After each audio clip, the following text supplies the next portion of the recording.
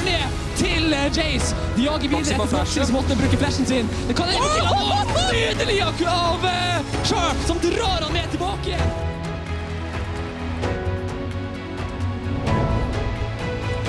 De holdt seg i live, og samtidig, i basen til Nordavind, så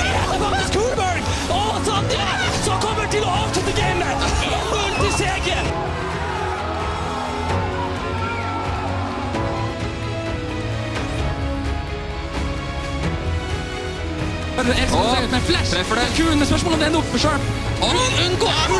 Samtidig var Keks killer på Coolberg topplane. Men Sandia og Sharp jager videre. De dreper også Touch. Nå er det Tide som har ganske mye liv faktisk Og mot.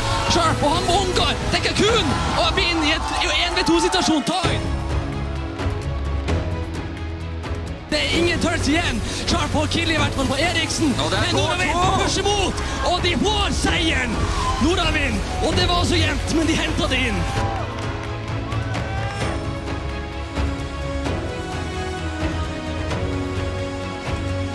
Men flashen til SK i tillegg. De får first blood. Det er fantastisk play av Segen. De skal prøve å få tak i touch også. Og der begynner de angrepet, og de hopper etter med repel. Det er nydelig eksekuta. Og er ikke veldig nær å død, faktisk. Men eh, holder seg i live, han også. Og nå begynner de å ta tower platings.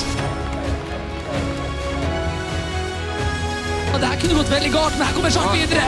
Den der eh, stopporsen der er kjempebra. da Sharp tar mye skade, og de får ikke drept Eriksen.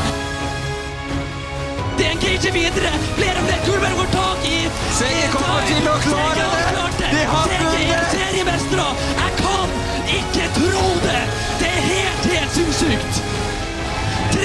3-2 til Seger. Jeg har